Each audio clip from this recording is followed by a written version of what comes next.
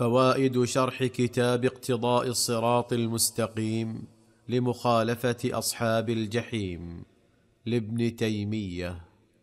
كذلك نهي عن الوصل بين الصلاتين صلاة الفريضة وصلاة النافلة. النافلة. فإذا سلم الإنسان من الفريضة فلا يقوم على طول ويأتي بالنافلة كما يفعل بعض الجهال لأن الرسول صلى الله عليه وسلم نهى عن وصل صلاة بصلاة. حتى يقوم أو يتكلم. فهذا كله من أجل آه، تميز العبادات وبقائها على صورتها وألا يدخلها تغيير أو زيادة.